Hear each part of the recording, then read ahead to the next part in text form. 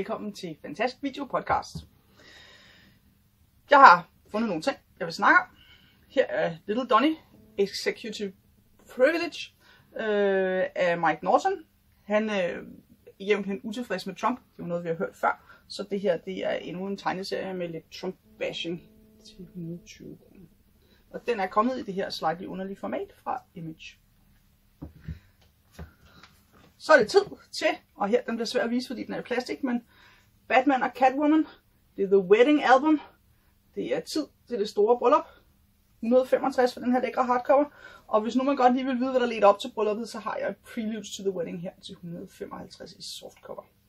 Og jeg beklager, den er sådan, men der er altså sådan noget ting bagpå, så hvis jeg tager plastikken af, så kan man slet ikke se, øh, så falder de af. Så det går ikke, så I bliver nødt til at se den i den dårlige version.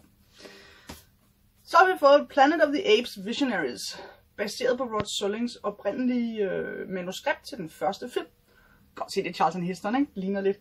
Til 180 kroner. Og øh, der er en synlig ting i den, som, øh, som faktisk er ud over det, som den følger langt hen ad vejen den samme som den første film. Men, men der skulle være noget mere med, som ikke kom med i filmen dengang. Så rigtig interessant bog her. Så har vi fået Feast of Fields af Sean Kermaker. Og øh, Sean Kermaker, han er kanadier, men øh, hans mor er dansker. Og øh, den her, den handler om hans mor, Hanne, hvordan hun og hendes øh, brødre øh, ender på et, øh, et dansk øh, børnehjem, da de er små. Og det her, det er hans historie. Han fortæller hendes historie her mange år efter, om hvordan hun oplevede det der med at opvokse i Danmark, uden at have nogen familie i det hele taget. Så 165 øh, skal også lige siges, at øh, Sean Kjærmaker har tænkt sig at dukke op på Art Bubble i Aarhus. Så der er en mulighed for at få signeret sin, måske få en lille tegning i sin Feast of Fields. Så er der kommet en super lækker udgave af Bram Stokers Dracula, som er penslet af Mike Minola himself til 270 kroner. Prøv at åbne en gang. Virkelig flot. Rigtig, rigtig lækre sort-hvid stil her. Så, til 270. Oh, så er der en gammel kending. Crumbs Sketchbook. Og Crumbs Sketchbook nummer 1 genudgivet. Det skal siges, at hvis man har de gamle Crumbs, jeg tror de var på tysk i sin tid, ikke også? Øh, så, så er der altså mere med i den her, eller det vil sige, den dækker flere år. Det er sådan en stor tyk mobbedreng her, ikke? Og det er jo nummer 1, jeg mener, at nummer 2 og 3 dukker op i næste uge. 360 kroner for noget af det gode gamle Crumb. Så har vi fået en manga, Tomo-chan is a girl, nummer 1. Og Tomo og Jun, de har kendt hinanden siden de var helt små og har leget sammen, og det har været fantastisk. Øh, da de så når til high school alderen, så tænker Tomo, at hun egentlig måske har lidt følelser for Jun. Men Jun ser hende som en af de andre drenge, så, så det her, det er Tomos øh, quest for at bevise, at hun også godt kan være en pige, selvom hun er en af drengene. 120 kroner. Så får vi den her interessante tegneserie, eller rollespil, eller hvad man skal kalde den. Rolled and Told. Øh, det er faktisk gratis eksemplar. Vi har nogle stykker, og hvis man kommer og spørger op ved disken, så kan man få en af dem. Og øh, det, er, det er et nyt take, øh, hvor de har tænkt sig, at hver måned, så kommer der sådan en lille booklet, som har øh, to eventyr parat til at spille. Øh, med lækre kort i, og illustrationer og ting og sager, og tips og tricks, og... Øh, og et rigtig lækkert map. Se bare det her sådan med The Ratchet Generator. Eller The Bad Box. Så. Og så er der altså faktisk en, øh, en, en, lille, en lille bitte tegneserie. Ikke særlig stor. Og så derefter så følger der en, en, et eventyr parat til at spille. Så det her må være en hver rollespillers strøm. Og det er et lille eventyr. Og øh, den første her som sagt gratis. Se, om bag der er der characters. Så lige parat til at tage at gå i gang med.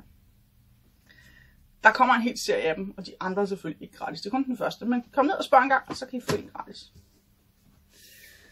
Så er der kommet en ny Hamilton, Salvation. Og det er en ny science fiction, og det er en helt ny serie øh, til 195 kroner. Og øh, han er jo en af de mest populære science fiction forfattere i dag, og øh, det er ja, nyt og spændende og foregår ude i rummet, hvor øh, øh, vi har stort set mistet alt. Vi kan få ørkenen til at blomstre, vi kan leve stort set uendeligt, vi kan, og, og var det så smart, at vi inviterede de der aliens, fordi vi kunne bytte noget teknologi, eller viser sig, at de måske har mere brug for flere dele også, end vi er interesseret i osv. 195 for en ny spændende Hamilton. Så er der kommet noget andet rigtig spændende. Salvatore Timeless. Og her skal jeg huske at sige, at de har ikke release før den 4. 9. Så øh, det kan godt være, at jeg viser den i dag, men jeg må ikke sælge den i dag. Øh, den koster 260 kroner, og det der er sådan lidt spændende ved det, det er, at det her er en Salvatore Drist historie. Den er ikke sat i Forgotten Realms, det vil sige, der står ikke Forgotten Realms nogen steder på. Den foregår alle de, andre, alle de samme steder, som, som de andre Drist-historier gør, men eftersom at licensen er overgået til nogle andre, øh, så står der ikke Forgotten Realms på, fordi det må man selvfølgelig ikke, vel? Men den foregår, og den handler om Drist, øh, og præcis de samme steder, som, som hvor de andre i Baransan og så videre og så videre. Så øh, for folk, der elsker Drist, så er det her som en ny dristbog. Så har jeg nogle beskeder. Det er sådan, at i september måned er der to forskellige events, vi skal til. Og den første af dem, det er den 15. til den 16. september, hvor der er øh, fantasy-bogmesse i Esbjerg, hvor man blandt andet kan møde Patricia Briggs.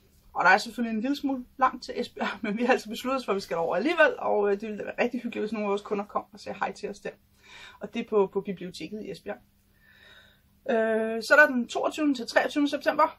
Det, vi kan ikke have for lang tid imellem til at pakke op og ned, men weekenden efter altså, er der Artbubble i Aarhus i Dog 1, hvor det er gratis at komme ind. Og Artbubble er en tegneseriemesse, og der kommer til at være en masse forskellige tegnere, som man kan få øh, lavet små tegninger, eller signeret, eller så videre, og så videre. Og øh, ja, igen, Aarhus er jo ikke lige rundt om hjørnet, men, men de, plejer at sige, at man kan tage kombardobussen for en hund lige heroppe for hovedbanen, og så er man i Aarhus i løbet af nogle timer, og så øh, kan man jo komme ind på Dog 1, og Dog 1 er gratis, så det koster ikke alverden. Og kom også sige hej til os alligevel.